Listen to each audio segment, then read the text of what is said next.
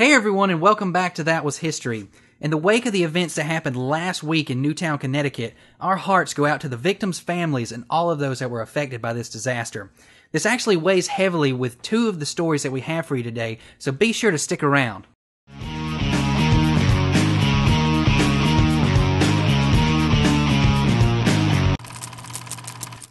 The United States of America is based on the idea of freedom and the pursuit of happiness. The Founding Fathers developed this nation on a set of principles known as the United States Constitution. On December 15th of 1791, the first 10 amendments to this Constitution, known as the Bill of Rights, were ratified. These rights were proposed by James Madison and voted into law by a three-fourths vote among the states at the time. The Bill of Rights protect liberty and freedom such as freedom of speech, religion, as well as the right to bear arms. While the previous story was all about the freedoms and rights that America represents, these rights were not always in place. Before the American Revolution, America was constantly being persecuted and abused by England. One such form of abuse from England came in the form of taxes. In response to these new tax laws, a rebellion was formed by some of America's finest and it would be known as the Boston Tea Party that was held on December 16th of 1773. Basically, American colonists boarded three ships that were filled with taxed tea and dumped them into the harbor. This was representation of their dissatisfaction with the new Tea Act that was implemented by the English king. So I've been on countless flights before, and I just haven't ever sat down and taken the time to think about how it was made possible. I mean, it's so simple nowadays. You buy your ticket, you go through the airport procedures, and you're pretty much on your way to your destination. Well, on December 17th of 1903, Orville and Wilbur Wright made the first man-powered airplane flight near Kitty Hawk, North Carolina. Their machine was referred to as an airship and could fly up to 10 miles per hour. Today, if you think about it, we've come so far in air travel with planes traveling up to 600 miles per hour or more.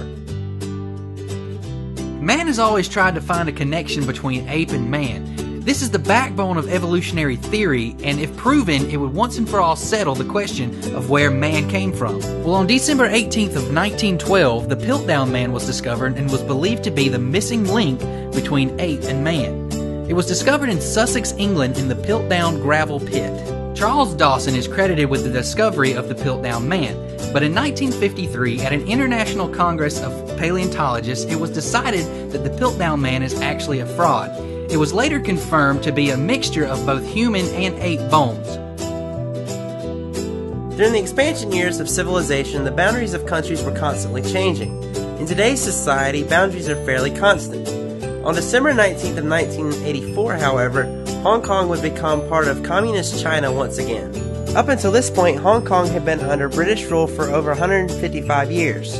Interestingly enough, China agreed to a one country, two system policy that would allow Hong Kong to keep their capitalistic economy. In the event of war, military officials might institute a draft in which able bodied men might be called upon to serve. This includes celebrities. If they call you, you must serve. I mentioned celebrities because on December 20th of 1957, Elvis Presley received his draft notice in the mail by the United States Army. So even if you're famous, you're not immune to serving your country. Okay, somebody give me a five letter word for the expression over my dead body. Anyone? Right now, you might just be thinking that I'm asking you a random question, but this is actually from a crossword puzzle that comes published in your daily paper. But have you ever wondered where the first one was created? On December 21st of 1913, a journalist from Liverpool, Arthur Wynne, published the first crossword puzzle ever in the New York World. And if it wasn't for him, this luxury would not be available. Well, that's our seven stories for this week, guys. We hope that you enjoyed it and learned something new. Be sure to come back next week when we have a new episode on Friday. All right, we'll see you later, guys. Please follow us on Twitter, like us on Facebook, and also subscribe to our channel so you can get the weekly update.